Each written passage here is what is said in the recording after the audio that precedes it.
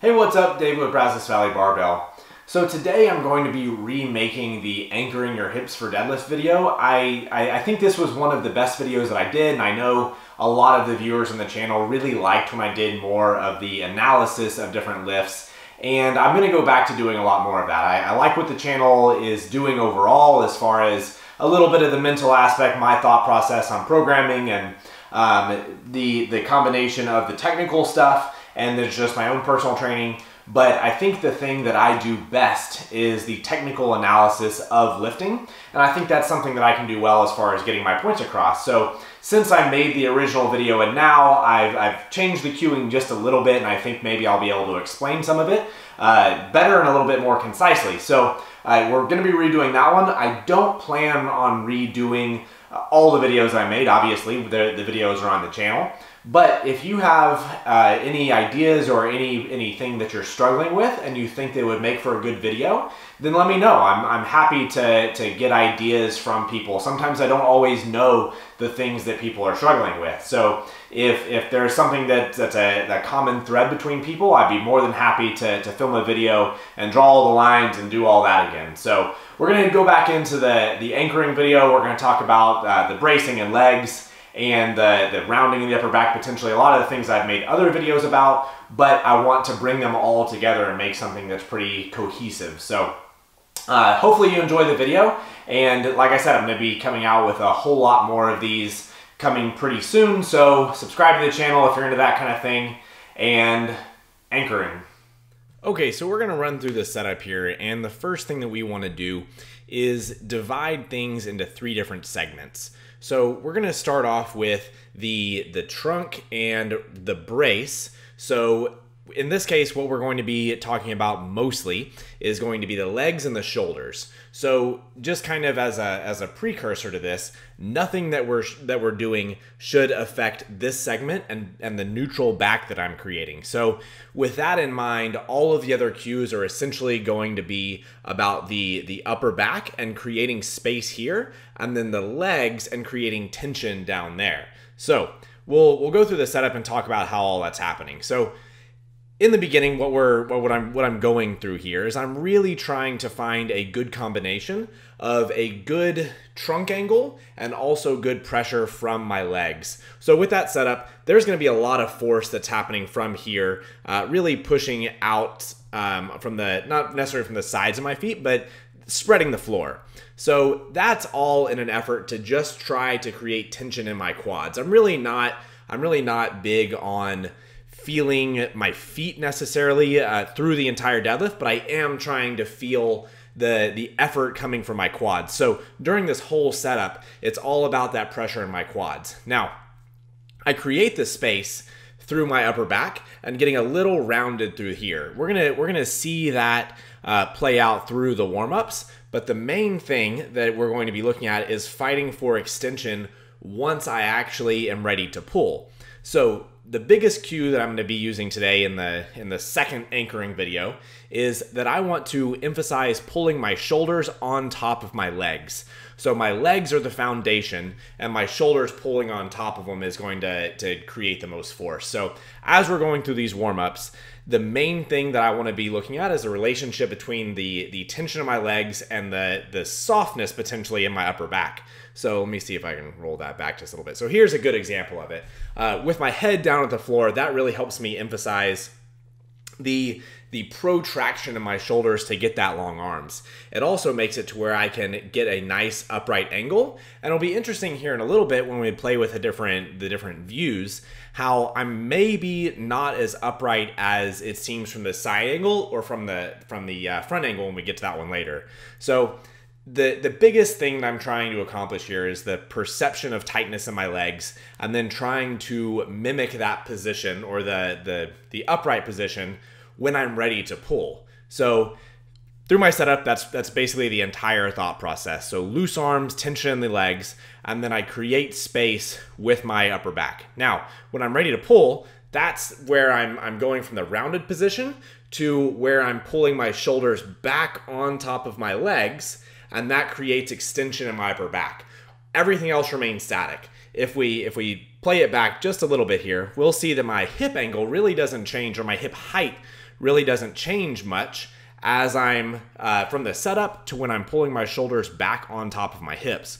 So that's because I'm having constant pressure and a lot of pressure from my legs trying to extend and then I'm creating the space with my with my upper back. So a big portion of this is is going to be being able to differentiate between total looseness in the upper body and actually creating more tightness by having the the long upper back or the long arms creating the the slightly protracted shoulders on the upper back. So that'll be a little bit more visible when we get around to the front angle. So i'm not gonna i'm not gonna labor that point too much from here but what we're really looking at is just the effort from shoulders in front of the bar during my setup to shoulders on top of my legs so that's the main idea. The main concept is finding ways to get your shoulders in a position to where your legs can exert force down into the floor and we have that nice vertical bar path through the whole thing. So this is my, my first set of the day. I did some pretty easy reps here, um, and we'll we'll start playing around with the different uh, angles after this so we can get a good look at everything. But nothing is changing, and especially here, that that neutral back that I had is now that I have the belt on and everything and now that I'm ready for my working weight, nothing has changed. So that area, no matter what I'm doing, no matter how rounded or extended I get in my upper back, none of that is ever going to be affected. The the brace is always the same. So whenever I'm cueing lifters, if I say that I want, um, you know, your upper back a little bit more extended or a little bit more rounded or hips high, you know, what, whatever I'm saying, this component always needs to be the same. So the rib cage, the rib cage always needs to maintain association with the pelvis. So if we don't have that in place, that's where you need to start. None of these other cues will work well if we're not making that static. So we'll move on and assume that that's good. So same thing, nice loose-ish upper back, and then I pull my shoulders on top of my legs, and these should look pretty consistent where I'm getting on top of my legs and really exerting force down at the floor. So I, I mentioned earlier the the the cue with the with the feet as far as spreading the floor, but really that's an effort in just getting tension into your quads. Once I'm on top of my legs, the effort should be up. So this is kind of a mistake, and actually some of my my lockout problems were probably a little bit of me trying to get back too early. One of the biggest cues for me as far as or past when I'm on top of my legs, I want to finish the pull up before I go back. Um, it's a it's a good cue for maintaining tension in the upper back, and it's a great cue for maintaining effort through the legs. So we can finish how I get all the way up before I go back. And then the common cue there is knees before hips. So that's where it kind of kind of makes sense. So from this back angle, this was actually an interesting one and one that I really don't like watching for myself because I feel a whole lot more upright than I look in this angle. So I've, I've actually filmed from this angle um, a, a, lot before, and I, I, I didn't like what it was doing my deadlift. I started changing things. I started sitting down too low. So we'll see here that when I when I'm ready to pull right here that there's there's a pretty good angle from my from my trunk down my legs. And and to me, I feel a whole lot more upright, and I'm I can I can guarantee that the last video and the videos we'll see after this that I'm in the exact same position. So it's just kind of interesting to to look at these things. And I think what I do well is when we come around to the front, we'll see how much space I'm giving across my upper back to get my, my upper body into a good position. Now, one of the things that I like from here when we come around, it'll look like my shoulders are a lot more relaxed than in this angle. It actually looks like my upper back is really, really rock solid and that I'm not giving a whole lot of my shoulders. So it's just interesting when we're playing with angles. I've talked about um, uh, in another video that we want to play or we want to film from videos or film from angles and get our videos from angles that give us good feedback for what we're looking for. This angle kind of tricks me. This angle makes it look like I'm doing things that I don't like when I actually am doing things pretty well. So um, it, it's just an interesting uh, it kind of wrinkle on the, the the video and the things that we're seeing is that I, I can go to a different angle and some of the cues that I'm using actually don't show up as well when it, it's actually looking exactly the same. Now, one of the the things that we can think about from here is that the goal isn't always to get as upright as possible. So with this this angle, I'm probably more upright than a, than a lot of people are able to get, but we can think of this as a uh, almost like a squat. So when I'm squatting, the goal is not to be as upright as possible. It, we should be trying to maintain some level of, of uh, you know trunk angle. We're not trying to get into a good morning position, but the main goal with our trunk angle is so that we can stay in a good position to utilize our legs effectively. It's going to be the same thing here. If my hips were higher than what they were, then I would have to use a whole lot more back. Now, if they're lower, if my if my trunk was more vertical, then my knees would have to jut out in front of the bar and I wouldn't be able to use really any back and it would be a whole lot less efficient. So this is a, a, good blend. This is a good position where I get a good balance between my legs and my back and a shorter range of motion overall. So from the front, we can see that the, the main emphasis is going to be on the on the long arms. So compared to the last video, this looks a whole lot different. So as I'm pulling my shoulders on top of my legs, we can see how long and how how rounded my upper back is. So the main idea or the uh, if we're if we're talking about pulling slack, I think a lot of times people think about pulling the bar to them, right? If they're trying to pull slack. And I think that's the exact wrong way to think about it. When we when you see me grip the bar, you'll see that the main thing is that my shoulders are going up and uh, after this next rep we can see that my shoulders will go up and then I pull. So that idea is that my arms are long and relaxed, and I'm using my legs to push down into the floor and pull my shoulders up as much as I can. So my arms really are not involved a whole lot here.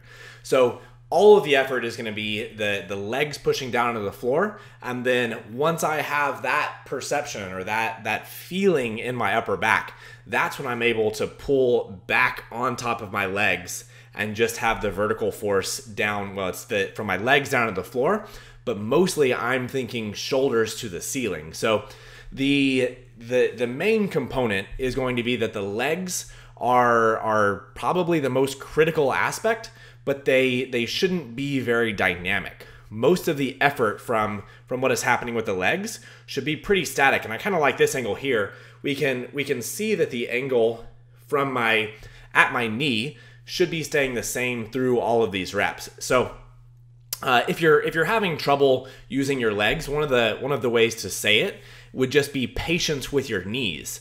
So if we can say I want you to keep your knees bent a little bit longer, then that really what that cue is is that I shouldn't be trying to extend my legs too fast. If I extend my legs too fast, then my hips rise and my shoulders fall over. So keeping my knees bent slightly longer while trying to go straight up to the ceiling that usually finds a, a good combination of both of those things. So um, this is a different day, um, and I, I actually uh, I'm using straps on this day. And one of the things I like with straps is that I can remove my grip from the process.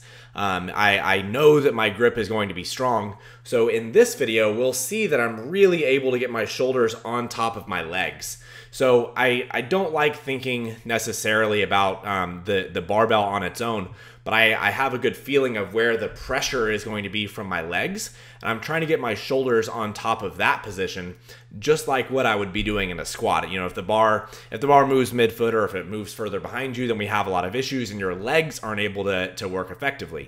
So if I'm able to keep my my balance on top of my legs, then all of the effort is towards the ceiling. So the, the, the critical pieces here are going to be constant pressure with the legs and then relaxed arms and then all of the effort is coming from the arms pulling back or the shoulders pulling back on top of your legs so that we can get all of this all of the force to go vertically as high as we can into the ceiling so um, that that was a, a, big revelation for me as far as fixing my lockouts when I was actually able to come back to to basically these concepts and it made me a whole lot stronger. And now my deadlift is clicking maybe like it never ever has before.